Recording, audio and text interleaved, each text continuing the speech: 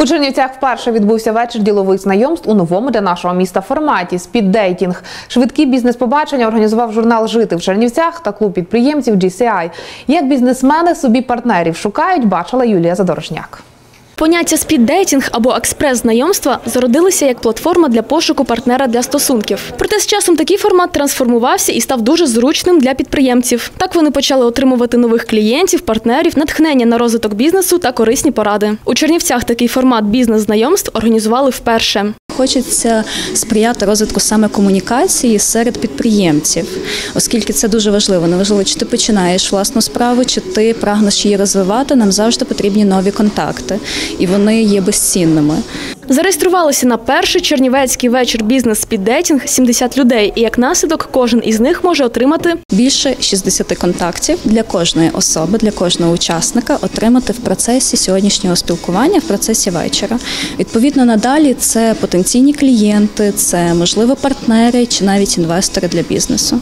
Процес такого спілкування мало чим відрізняється від класичного спіддейтінгу, але в результаті корисним може бути кожне знайомство. Гості сідають за столом по двоє людей.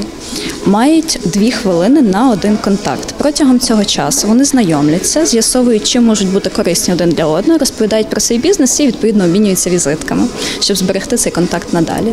Далі звучить сигнал, після якого міняється позиція за часовою стрілкою, і знайомство продовжується. І так буде тривати, поки всі не познайомляться між собою і не продовжуватимуть розмову в неформальній обстановці. Учасники розповідають, такий формат дуже зручний і ефективний, адже вони матимуть максимальну користь із мінімальними витратами часу. А також додають, кожне знайомство цінне, але як і в класичних пошуках партнера, важливо мати ідеал.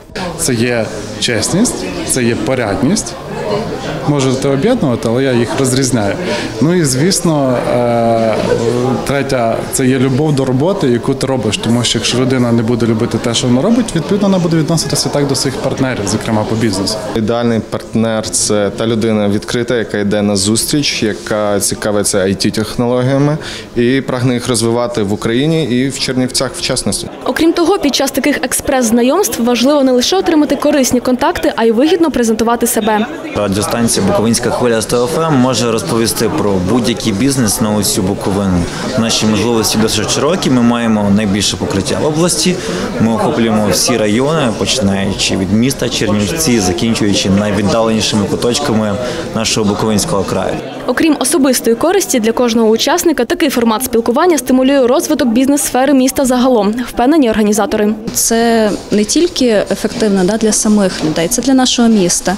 Чим більше у нас буде активної молоді, успішних підприємців, тим краще для нашого міста. Юлія Здорожняк, Роман Палатик, Чернівецький промінь.